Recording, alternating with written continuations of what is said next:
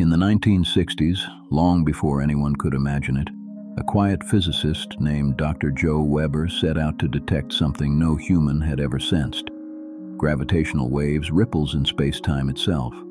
Tiny vibrations from exploding stars and colliding black holes, so small that even atoms hardly moved. Scientists said it was impossible the technology didn't exist. The signals would be too faint. But in a cluttered Maryland laboratory, Weber built a pair of massive aluminum bars, so sensitive they could detect a distortion smaller than a proton. Day after day, night after night, he listened to the universe. Then, one morning, the bars rang. A faint pulse, a whisper from space.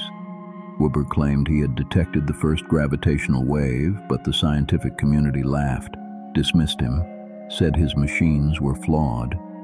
He spent the rest of his life defending his discovery, never knowing that decades later, new detectors would finally confirm he had been right all along.